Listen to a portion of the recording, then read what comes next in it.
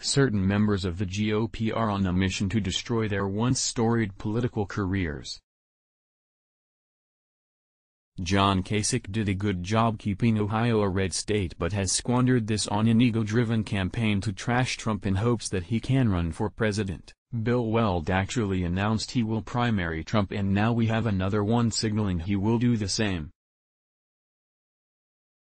This guy, Larry Hogan, had a great reputation for being a Republican governor in a deep blue state. But he, like Kasich, has not learned the lessons from the past. The left will never accept these turncoats and the GOP base will hate them for their cowardice.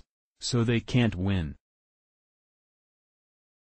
But consider for a minute how history will judge them after Trump solves the China trade problem. Anything he gets is better than what we have now so by definition he has already won that, and gets lucky with Mideast peace. Most cynical establishment figures think Trump and Kushner's plan is a dream. But they forget that because Trump has been so good to Israel he has massive leverage over them to make concessions they normally wouldn't make. What will history say of these cowards?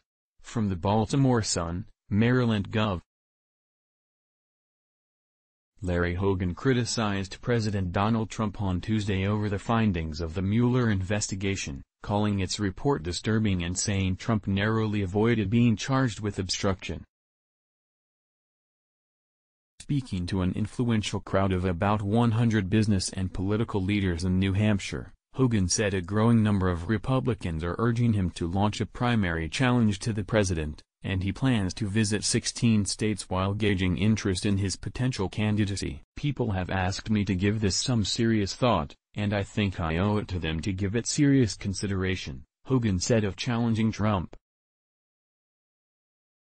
Hogan's comments came during and after the Politics and Eggs speaker series, considered a must-stop for presidential hopefuls, at St. Anselm College's New Hampshire Institute of Politics. The state is home to the first U.S. presidential primary, scheduled in 2024 February. 11. After his speech, Hogan told a swarm of reporters that he was disturbed by the revelations about Trump's conduct disclosed in the report on the investigation into whether his campaign officials colluded with the Russian government to interfere with the 2016 presidential election. There was some very disturbing stuff found in the report, Hogan said.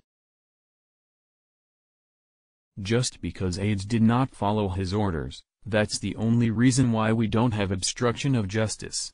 Mueller's report detailed at least 10 instances in which Trump tried to interfere with the federal investigation, including when the president ordered White House counsel Don McGahn to have Mueller removed. The report said McGahn refused. Did he obstruct justice? He tried to, Hogan said in an interview after the event. Of course he did. He attempted to over and over again. Apart from U.S. Senators Mitt Romney of Utah and Susan Collins of Maine, few Republicans have spoken out against Trump since the report's release last week. Asked why that was the case, Hogan suggested many are afraid of the president. There's no profiles and courage here, Hogan said. They're afraid of being primaried. They're afraid of being tweeted about. Very few of us are willing to say what we really think.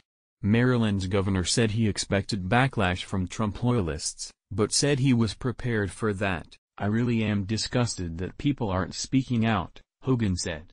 Yes, I'm going to get criticized. Yes, people aren't going to like it. I think it's important to say what you think. I think it's important for somebody to say the truth. Let's block ads. Why?